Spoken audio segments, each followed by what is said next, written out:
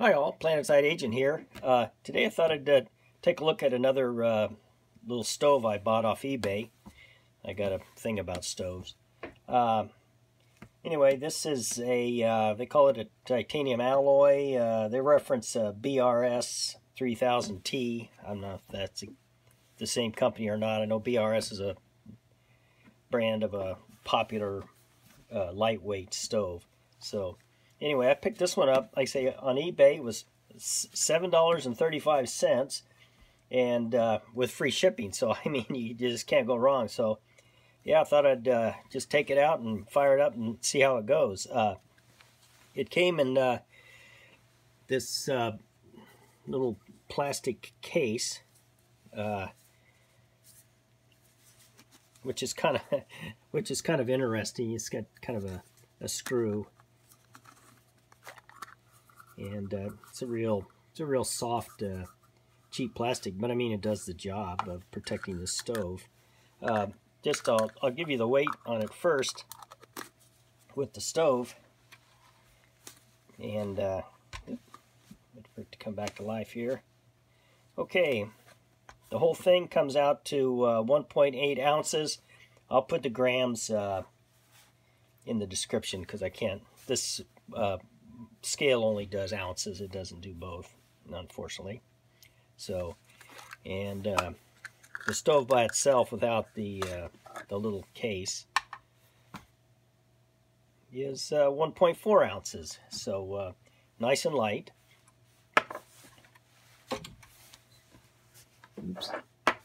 Make sure I keep this centered in the in the viewfinder here this side. So uh, there we go. It, uh, it's got the little wings come up.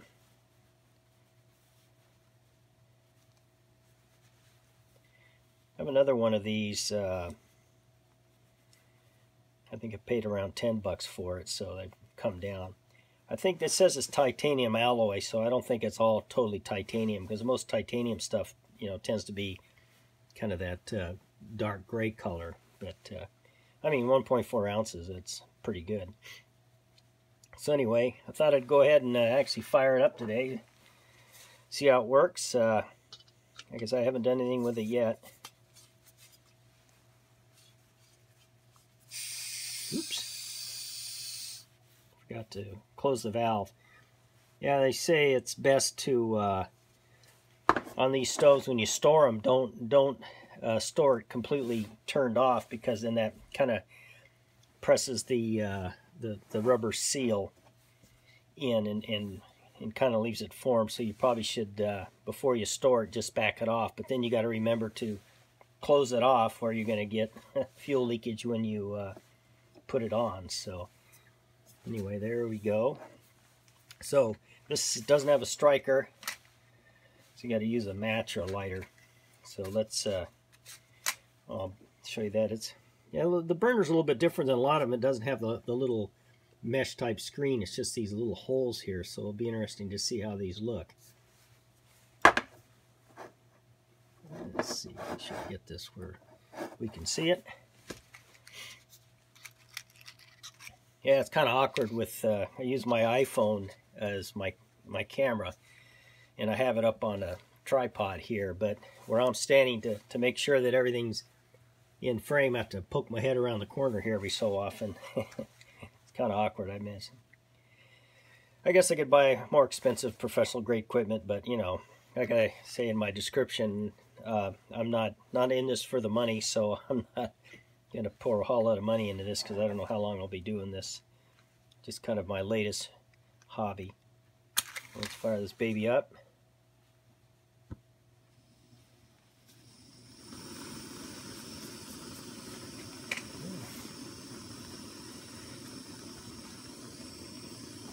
Yellow flame there. I don't know how well it's going to run. This is I'm out here in the garage and it's uh, about 50 degrees. This canister's been out here all night, so but you know it's real be more like a real world summer camp camping trip. Anyway, let's uh, let's go ahead and put two cups of water on and uh, see about how long it takes to uh, to boil. Now, uh, let's get this a little closer. How's that look? Yeah. Uh, it's already starting to get some bubbles. Uh, I'm not going to put a lid on this, so I mean the boil times. Well, I'm not going to time it anyway. I don't have a timer.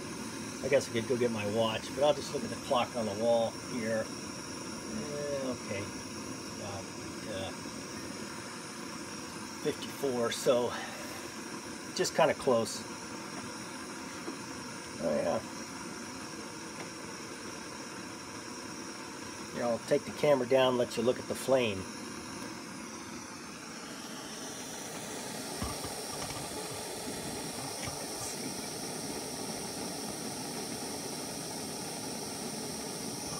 Now looks like it's spreading out on the bottom of the pot really well.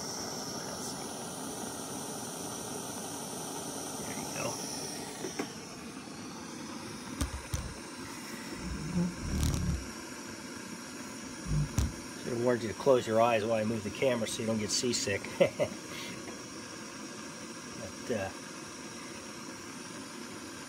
yeah, starting to get little bubbles in the bottom of the water, so you're just putting heat to it. So I'll go ahead and uh, turn the camera off here for a while. Won't bore you with uh, watching the water boil. Okay, back for another comment. One thing I have noticed about this style stove with the way those uh, wings spread out, bring you back down here again, um, is they have make for a really wide pot, you know, wide base. So uh, you know, smaller pots. I'm wondering like the uh, 700 millimeter, 600 millimeter type uh, pots are going to be a little wobbly on here. Now this one, this Olicamp one has a rounded bottom and I was kind of adjusting a little bit and wanted to slip off. So uh, that's uh, that's kind of scary. That's probably the only one of the bad things about these this type of uh, wing stove. The uh, you can't put a very small pot on here and have it have it stable.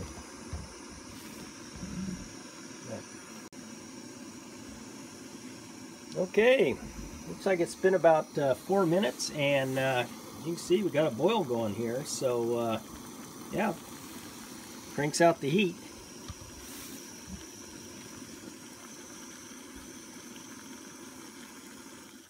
Not going to trust this. It's a little, like I said, it's a little on the wobbly side here. But it def definitely works. It will uh, cranks out the heat. And, you know, four minutes for two cups of water, that's pretty good.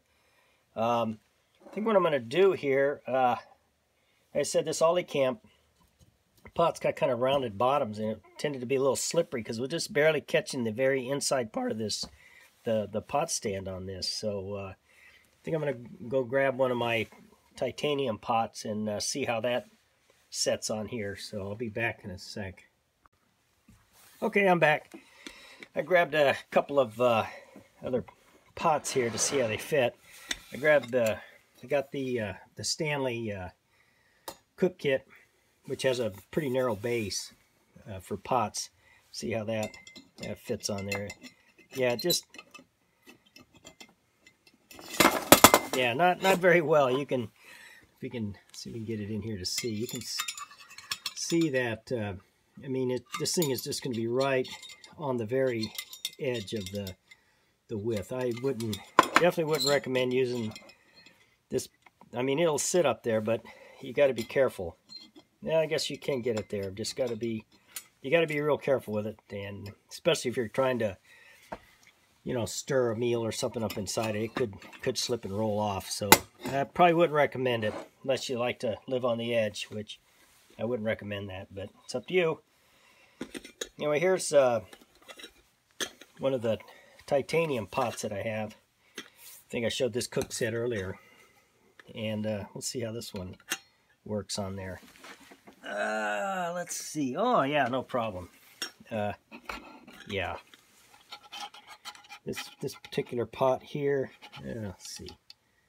You can see that. Yeah, it, uh, yeah, it, it's it, it'll sit on there really well. So that's very stable. So so I guess uh, for this style pot, with pot, yeah, it'd be uh, no problem at all. It's going to be very stable. So yeah, this uh, this particular now it's funny the the Olicamp is actually uh, the uh, the same diameter as the uh, this is a titanium 750 milliliter titanium. Uh, it's it, this isn't a Toaks, but it's very similar to it, and uh, you can see that that lid actually fits on here. But the design of, of the Olicamp, the the bottom kind of rounds in, so it's not real stable on this particular stove. But as you saw on uh, this guy here, it wouldn't be a problem. So I would recommend any pot smaller than this, but most of the time you're not going to have a pot smaller than this anyway. I don't.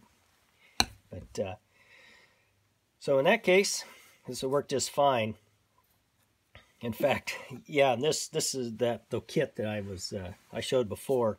I have a similar stove to this one, and it came in a little little cloth bag.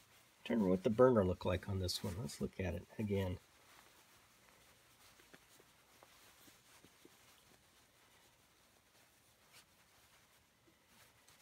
Get off of there. Yeah, the burner on that uh, is a little bit different. And uh, this one uh, looks like it's got a little bit of brass in there.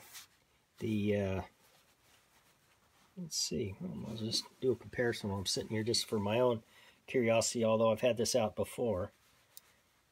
Let's see, come on. Oops, this way, this way, this way. Now, this one, I like this one. As you can see, it has uh, much much much broader on the pot stand than uh, than this one does. Kind of do a comparison.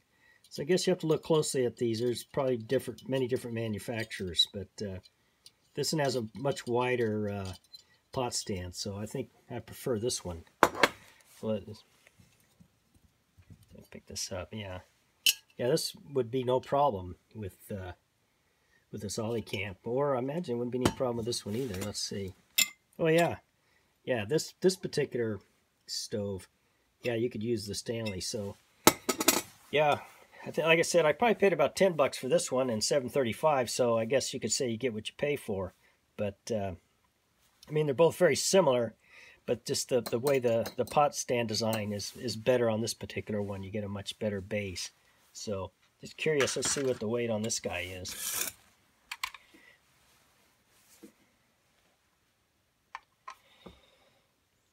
1.6 and I believe this one was 1.4 so you got two tenths of a um, ounce heavier but uh, but that's well if you look that's probably in this little bit of extra metal if you look at the two the pot stand see this one the pot stand actually has quite a bit more metal that's probably the, the weight difference but but I would uh, you know, for use, I'd recommend this one.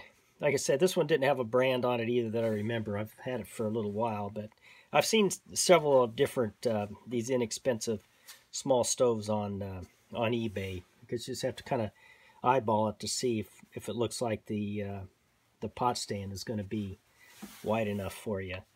But I, you know, even though this one was cheap, you know, I mean, you could use it if you had larger pots like for this, it, no problem.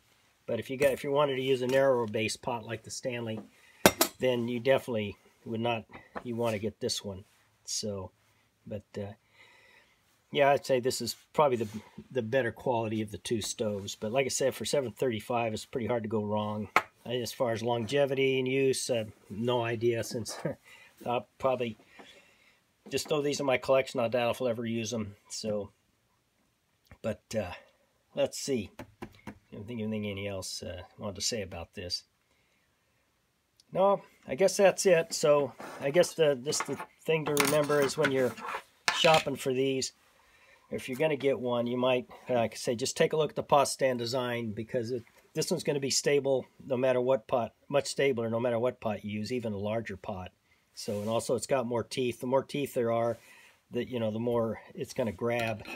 So it's not going to want to slide around this is going to be a lot, a lot grippier. And for some of you, which a little editorial here, I've watched a few videos of guys using stoves in the field, and I don't know, they must have a crooked eye because I see them, uh, they'll have their stove on a on, on uneven ground. I'm going, you know, how much how much trouble is it is to, you know, level the ground out or level the stove out so it doesn't tip because like you get one of these where the, the pot stand isn't that grippy, you know, your meal could just uh, go sliding off and cause all kinds of problems. So just uh, when you're using your stove, level it out. It's not that hard. It doesn't cost anything. It takes some time to, to think about what you're doing. So, and be careful around your stoves. Uh, so, so much for the uh, mom's advice. And uh, I guess that's it. I hope you enjoyed the video, and uh, we'll uh, see you next time. Bye-bye.